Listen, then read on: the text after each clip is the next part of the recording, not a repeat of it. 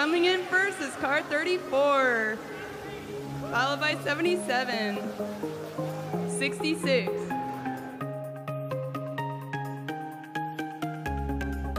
Well, it's a summer program where we've come here and we are learning about autonomous navigation and autonomous vehicles in the context of programming these race cars.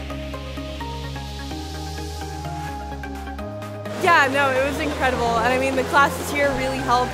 The, the associate instructors, all the labs, all the lectures.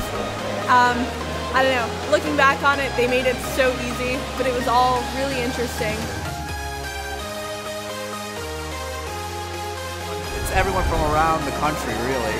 Um, a lot from Massachusetts, but you know, I've met a few kids, they say they're from California, New York, etc. So yeah, it's actually a really nice experience getting to meet new people and you know finding out how you're supposed to, finding out how to work together with them and you know basically putting in a team with people who you've never met or even closely know and getting to know them and work together. It's you know it's a really nice experience.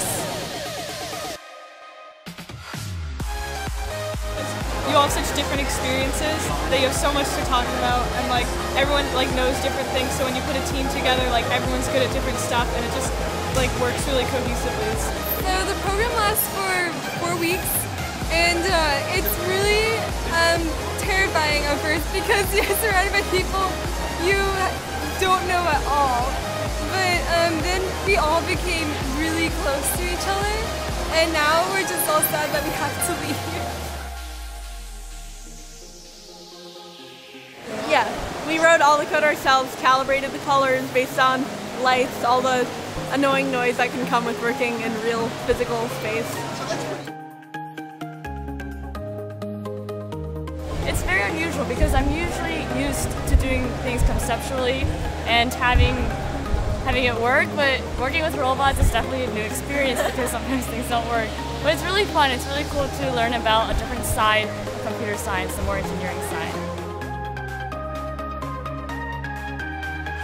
In high school you may do some small projects on odd ends, but um, here we get to focus on a robot from start to finish and get to see, hopefully, it travel an entire course, and that's very gratifying. That's a very, very gratifying experience. I never expected like to be able to work with. I didn't think it'd be cars that had all these like advanced sensors, or that it would be like an MIT class scaled or made for high school students, which is what makes it pretty amazing for high school students to be able to do something that MIT students get to do. I mean, my high school has a pretty good computer science program. This is kind of unreal. You know, it's just incredible hardware that I didn't even really understand before I came here. And there are just so many resources made available to us. All these incredibly intelligent people, all this documentation, all this hardware, and it's really incredible that we got to come here and do this all for free.